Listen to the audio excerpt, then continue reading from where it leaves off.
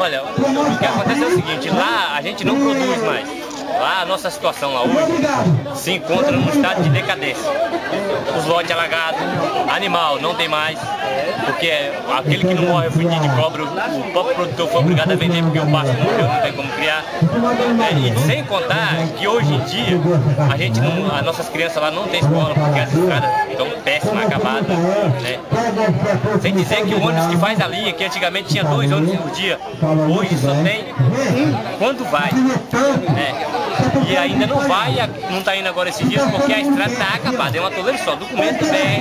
Não tem, por isso que a gente está aqui, procura socorro, procura justiça. Você tem uma ideia, você tem uma ideia, você dormir no Canadá aqui hoje, tem que pedir muita proteção divina para os caras não. Eu dormia só de cueca na minha varanda. Só de cueca na minha varanda.